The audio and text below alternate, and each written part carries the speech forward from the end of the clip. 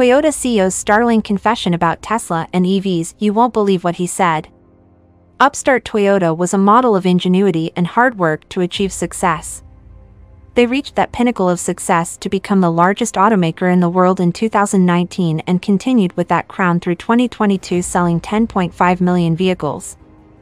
Then in February 2023 a Toyota executive admitted that taking the skin off the Model Y, it was truly a work of art. It's unbelievable that was following his team's teardown of a Model Y electric vehicle. Originally introduced as a new vehicle in 2020, the Tesla Model Y sold an estimated 252,000, where the Toyota RAV4 sold 399,941 for 2022 in the USA. As of Q1 2023, the Model Y was the number one selling vehicle, not just EV, worldwide. It only has three configurations, all-wheel drive, standard range 279 EPA, all-wheel drive long range 330 EPA, all-wheel drive performance 315 EPA, with five exterior color options and one interior color option. Despite making cars for almost a century, Toyota has been having issues with its recent attempted shift to full electric vehicles. The BZ4X, Toyota's first global all-electric car, not built for them by Tesla, like the first all-electric RAV4 was, had a major safety recall. The wheels were literally falling off, that had seriously delayed the program to a crawl for the next two years. This same BZ4X model is also the basis of the Subaru Solterra, which had the same wheels falling off issue at its launch too. However, for context, as so many who follow the electric vehicles market have known, Toyota has been anti-battery electric vehicles, BEV, and trying desperately to get traction with hydrogen fuel cell electric vehicles. Toyota did not either feel they could compete in BEVs or that the maintenance costs were too low to remain as profitable or something else, the why is not clear. Unless they felt back then they could not make a battery electric vehicle as well as Tesla maybe. It should not have blocked them from seriously developing BEVs along with other options. With the Prius, Toyota got to provide the Toyota know-how in efficient internal combustion engines, plus an hybrid electric propulsion system. Thanks to the gift from Exxon in the late 70s of hybrid car technology that no other automaker wanted at the time. Exxon started work and developed the early modern version of hybrid electric technology as a proof of concept to help automakers with large gas guzzlers use less gas during the 1970s second oil crisis, as they feared if oil was too expensive, people would stop driving gas cars and trucks. For reference, a gallon of gas, in 1975 was about 57 cents per gallon, then went all the way up to 86 cents per gallon in 1979 which, adjusted for inflation is $3.34 in 2023. At that rate of increase, gasoline could have ended up costing $36 a gallon in 2023 if it continued. If that $36 per gallon of gasoline happened, more than likely, very few people would be regularly driving a gas-powered vehicle today. That would be devastating to Exxon and other oil companies, which was why Exxon worked on the hybrid technology in the 1970s to keep demand for gasoline at some level regardless of price. If that happened, EVs likely already would be dominant for individual transportation. With the electrical transmission grid infrastructure very well upgraded over time out of necessity, to handle the power flow needed and to make charging anywhere as convenient as finding a place for getting gas on a road trip. It's getting there on major highways with the Tesla supercharger network but not fully yet. When the second oil crisis ended in 1979, Exxon had reached a point where they had working hybrid cars but none of the automakers were interested except Toyota, since gas prices were falling. Likely recognizing that this was probably going to be an advantage if there was another oil crisis they began developing what for the time was cutting-edge technology, which became the first Prius that went on sale in Japan in 1997 and globally in 2000.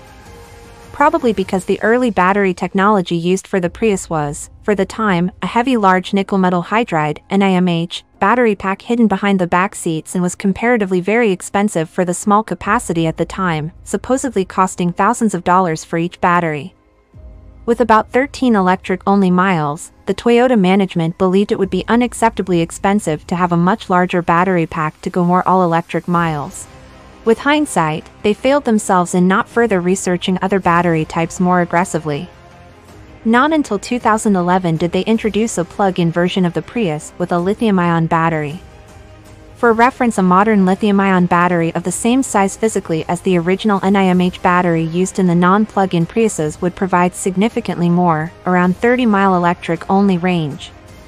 So recently, we have had prior Toyota management, the former CEO Akio Toyoda, grandson of the Toyota founder, trying to sell the world on hydrogen as an alternative to gasoline probably because they did not seem to have the expertise in battery electric vehicle, BEV, technology.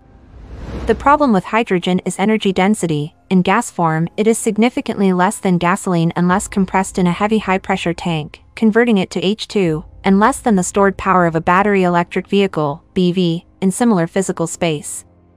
You would need a large number of highly pressurized heavy hydrogen tanks that are more likely to explode than a gasoline or BV would to get the range of a gas car.